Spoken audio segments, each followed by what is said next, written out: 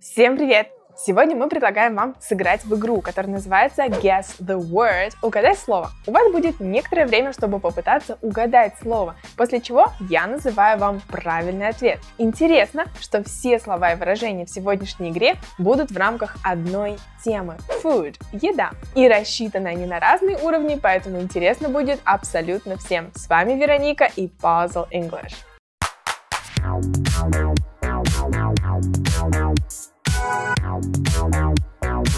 Обращаю ваше внимание, что это могут быть и прилагательные, и глаголы, и фразовые глаголы, и выражения, но я буду об этом говорить в начале объяснения каждой карточки, так что будьте внимательны. Не забудьте посчитать количество ваших правильных ответов и написать нам об этом в комментариях. Начинаем!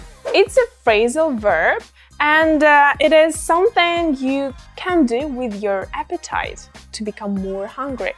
People can do some physical activities like to walk for a while, to blah blah and appetite.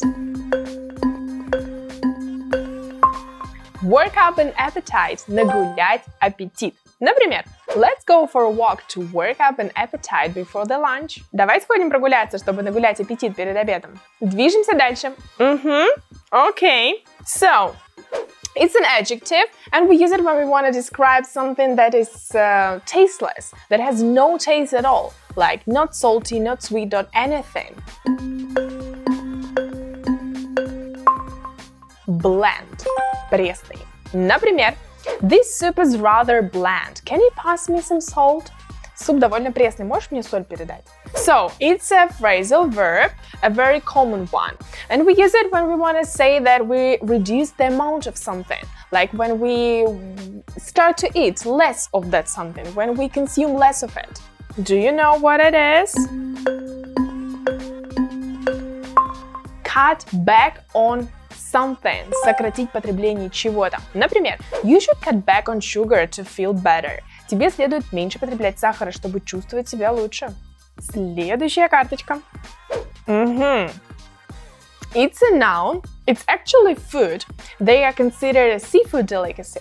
By the way, there is a special smart card in London that's used to pay for trips on a bus, tube, and this card is named after this word. Oysters, устрицы. I know a wonderful restaurant that specializes in oysters and other seafood.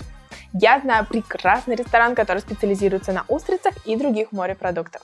I left my oyster card at home. Я забыла свою карту oyster дома. This card has two words and it's like extra food or that's served with the main dish. It can be placed on the same plate or on a separate one. So, Side dish – гарнир. Mashed potatoes are mostly served as a side dish. Пюре обычно подается как гарнир. Next card. There are two words on the card and it has processed meat, sliced chicken or other types of meat. Sandwiches are usually made with this word unless they're vegetarian. Deli meat – мясная нарезка или мясные деликатесы. Например, I found a new recipe for deli meat sandwiches. Do you wanna try it? Я нашла новый рецепт для мясного сэндвича. Хочешь попробовать? И осталось всего две карточки. Сколько у вас уже очков? So, guess the cuisine. This one is one of the oldest known. It basically consists of olive oil, vegetables, and seafood. One of the dishes, for example, can include crisp cucumbers, tomatoes, red onions, olives, fatty cheese, and olive oil. This salad is very popular in the world. Do you know that? Greek cuisine. Угадали? Have you tried Greek cuisine? Ты пробовал когда-нибудь греческую кухню? И последняя карточка на сегодня. Mm-hmm. Guess the cuisine again. It's probably one of the most well liked in the world. It's uh, very tasty, spicy, and food is usually wrapped in tortillas. By the way, avocado guacamole came from this country. Mexican cuisine.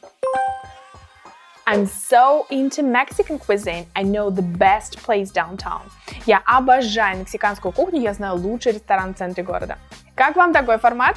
Если вам понравилось, то обязательно пишите это в комментариях, и мы будем снимать больше такого живого игрового контента. С вами были Вероника и Puzzle English. It's a party.